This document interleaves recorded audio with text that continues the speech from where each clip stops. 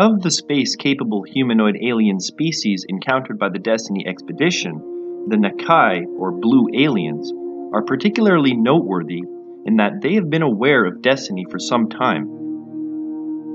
Possibly impressed by her automated defenses, as Destiny's onboard AI successfully repelled all their attempts to gain access, the ship has become, according to Dr. Rush, somewhat of an obsession to them. I don't think they want to destroy us, Dr. Rush remarked. What they really want is destiny. Probably only care about us because we recently came aboard.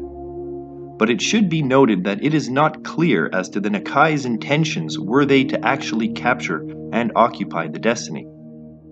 The first known encounter with the Nakai occurred indirectly while exploring the Gravel Pit planet, during which the away team stumbled upon a crashed alien shuttle. Naturally, Dr. Rush was eager to explore an alien spaceship on the other side of the universe. When Rush regained consciousness after being left behind on the planet by Colonel Young, in retaliation for using Sergeant Spencer's suicide to frame the Colonel, he, in his own curiosity, while perusing the crashed shuttle, inadvertently activated what he later realized was a distress beacon. As Rush was next seen aboard the alien's vessel, the distress signal didn't fall upon deaf ears, or some analogous sense organ. Following his rescue and return aboard Destiny, Rush and a few others gathered in the ship's mess, presumably to catch up after his whole ordeal. What happened when the aliens brought you on their ship? asked Eli. Rush answered, To be honest, I don't remember that much. The few times I was conscious, they were probing my mind looking as though there were things he wished badly to forget. It's something, he said, I'd rather not think about, really.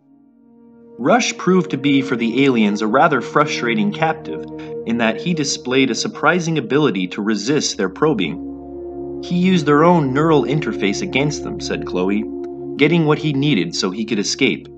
Location of the fighter bay, Rush continued. Basic operating systems. Furthermore, in using the neural interface, Rush was also able to learn of the Nakai's ambition regarding the Destiny. What they really want, Rush warned, is a way past our defenses, trying to find out what secrets she might hold. They are determined species, and based on past behavior, unafraid to employ the violence of direct action as a means to attaining their goals. In appearance, the Nakai have flesh blue in coloration, with glowing blue eyes, a thin, skeletal figure, an oblong head, with a pair of catfish like barbels protruding their cheeks, just underneath their glowing eyes. It is not known whether this glow is a result of bioluminescence or that they simply reflect a large amount of light. Their language or apparent mode of communication seemingly amounts to a series of clicks and roars and screeches. Communication via telepathy, however, also remains a possibility.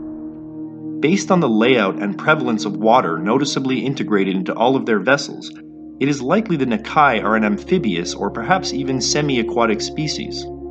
In physical ability, moreover, the Nakai appear to be somewhat less strong than an average human. Even in a weakened state, exhausted by the duress of captivity, still Rush overpowered and asphyxiated one after the connection between it and Colonel Young was severed, with relative ease.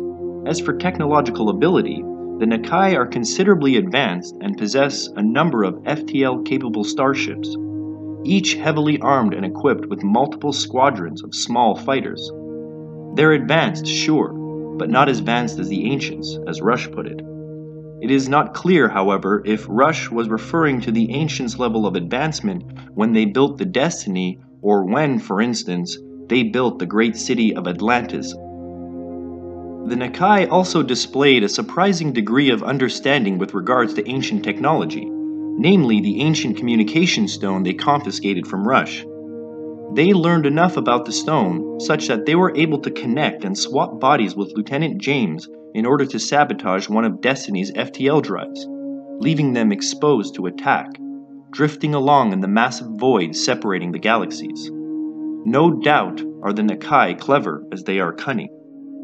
Although Destiny's de facto crew managed to repair the damage caused by the alien saboteur, still they were followed into the next galaxy.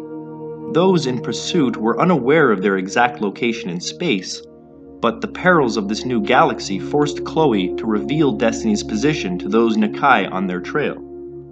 She insisted it was to save everyone's life and the Destiny, as they were under attack and about to be destroyed by the berserker drones they had the misfortune of awakening, the aforementioned perils of this new galaxy. But her gamble paid off. Three Nakai vessels responded, along with their combined firepower. The command and control vessel, which coordinates the attacking drones, then took notice and commanded half the drones to break their focus off Destiny and move to intercept the Nakai vessels, providing them with just enough time to fire off a salvo from Destiny's main weapon. The command ship was destroyed, the drones neutralized. However, two Nakai vessels were destroyed among the fray.